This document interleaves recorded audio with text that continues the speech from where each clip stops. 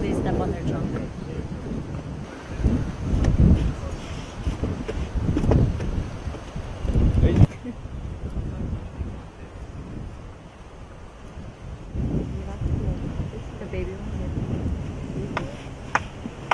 It's bitter in the sense that after 145 years, uh, elephants will no longer be a part of our, our traveling circus shows. Um, it's the end of an era. Uh, it's sweet in the sense that at the end of the day, it's about uh, these magnificent creatures and conservation and ensuring that these guys will be around for many generations to come. Thank you guys for tuning in live on Facebook for this epic event, our Homecoming Elephant Run.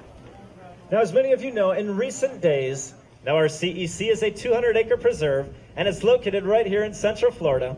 Working with elephants is that relationship we build with all of our elephant family members. It's a relation with Brothers in Barnum and Bailey. We focus our conservation efforts on Asian elephants because they are such highly endangered species. Now, elephants are extremely intelligent creatures. Thank you.